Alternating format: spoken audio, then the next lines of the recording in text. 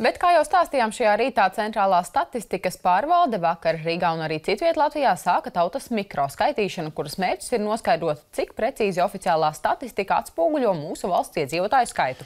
Vairāk jautāsim centrālās statistikas pārvaldes priekšniecei Aijai Žīgurei. Labrīt! Labrīt! Labrīt! Ko tad īsti nozīmē mikroskaitīšana, kāds ir tās mērķis un kā tā izpaužas?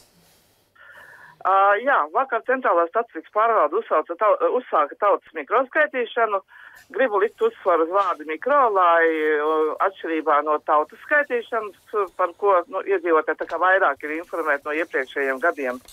Tātad mērķis šādam projektam ir uh, divi mērķi, tie lielie mērķi. Protams, mēs arī citas lietas arī testējam, veicot šādu aptauju. Uh, Tātad galvenais ir gatavošanās nākošai 2021. gada tautas skaitīšanai un arī pārbaudīt demogrāfiskās statistikas kvalitātes pārbaudi. Kāda ir atšķirība? Tātad atšķirība jau pasaka pats virsraksts. Tā nav visas tautas skaitīšana. Centrālās statistikas pārvaldē nejaušās izlases metode ir atlasījusi 15 tūkstošus mājokļu 41 novadā un 9 republikas nozīmes pilsētās un uz šiem mājokļiem jau ir nosūtītas vēstules un informācija par šo pasākumu. Un nu, visas tās detaļas, kas būtu svarīgi zināt tiem, kas ir iekļuvuši šajā projektā. Kā tad notiks tautas skaitīšana, ar ko jārēķinās tiem, kas ir iesaistīti projektā? Nu, tātad dažas svarīgākās lietas, kas būtu jāzina. Pirmkārt, šis projekts notiek divos posmos. Pirmais ir no 2. līdz 15. septembrim, kurā šie iedzīvotāji, kuri ir iekļuvuši šajā tautas mikroskaitīšanā, var vai ir aicināti skaitīties internetā. Internetā var saskaitīties, uh, izmantojot autorizāciju caur piecām uh, komercbankām, Citadele, DNB, Nordea, SEB un Svetbanka, un arī izmantojot elektronisko parakstu. Tālāk iedzīvotāju intervija, intervija ar iedzīvotājiem būs uh, ļoti īsu laiku, tā neaizņems vairāk par piecām minūtēm. Netiks jautāts nekas, ne par jūsu nodokļiem maksātajiem, ne par jūsu ienākumiem, nekas tāds, kas skar jūsu personīgo dzīvi.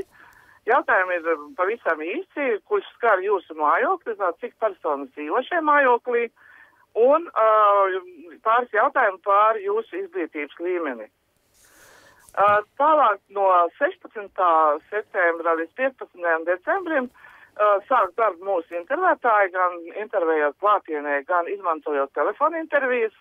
Tātad uzrunās tos iedzīvotājus, kuri kaut kādu iemeslu dēļ šeit pirmajā posmā internetā nav mm, aizpildījuši anketu. Čīgars kundze, jāsaka jums paldies par skaidrības viešanu. Mēs te vienā avīzē redzējām tādu karikatūru, kur ierodās pie cilvēkiem tādi mikro skaitītāji, mikro cilvēciņi. Tad šis nebūs tas variants. Labi, ka ieviesāt mums šo skaidrību. un vēl tikai gribējām precizēt, kas notiek, ja tomēr kādu iemeslu dēļ kāds no šiem uh, nejauši izvēlētajiem cilvēkiem negrib piedalīties. Vai ir tāda iespēja, ka viņš nu, pasaka, saka, ka viņš negrib piedalīties, vai tad viņa vietā tiek meklēts kāds cits, lai tas kopējais skaits nemainītos? Uh, nē, nē, ir mērķis ir nu, tieši apmeklēt šos konkrēti atlasītos dzīvokļus. Mēs esam paredzējuši arī tādu variantu, zinot, ka uh, mūsu iedzīvotāji ir mobīli un nevienmēr dzīvo tur, uh, tajos mājokļos. Uh, ir, nu, tātad ir tukši mājokļi, ka mēs arī meklēsim informāciju, nu, jautā, uzjautājot pašvaldību, sētniekus, kaimiņus vai varbūt uh, uh, nu, gūt papildus informāciju par šo iespējamiem dzīvokļu iemītniekiem.